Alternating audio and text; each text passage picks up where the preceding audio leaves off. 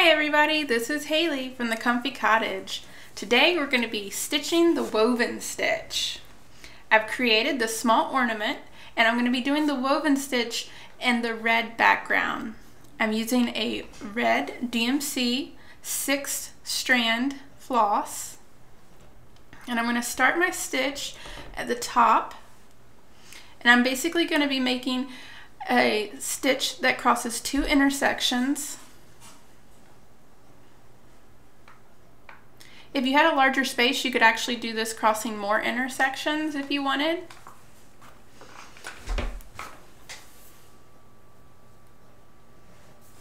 But you'll just make that diagonally to the left.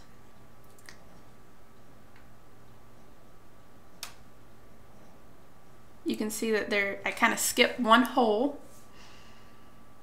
that's underneath.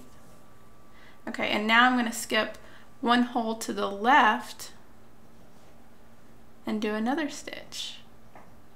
That's how I keep track of where I am. Some people I think say intersections, I some people like to keep track by holes. Again, come up through the back,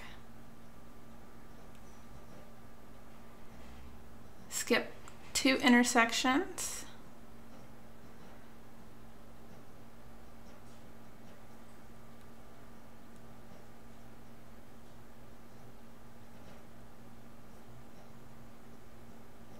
So you'll do this all the way across on the top row.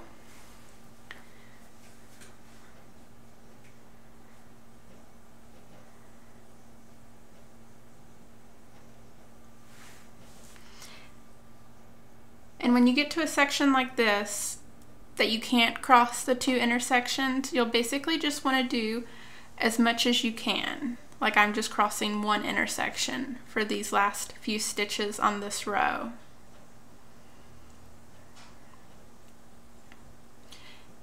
Sometimes I find that I miss these as I stitch, so I come back later at the end and I just fill them in for the few that I miss.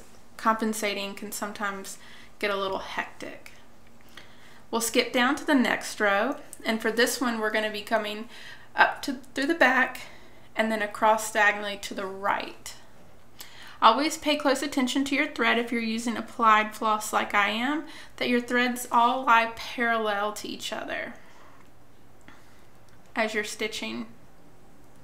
It's very key to a nice end look. As I start to meet up with my top row, you can see that they'll lock into each other. I'm actually going underneath the threads in the first row, creating like a little sideways T.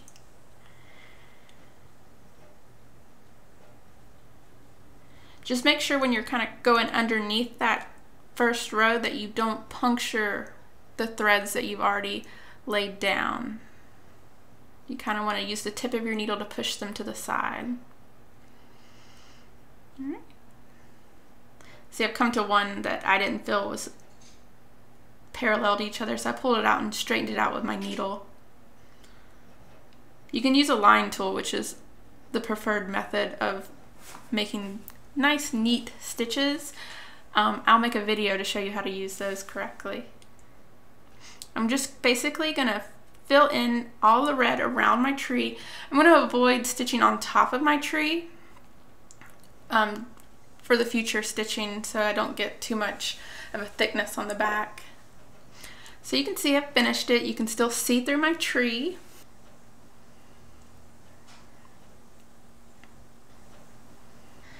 Stay tuned for our next video when I fill in the tree.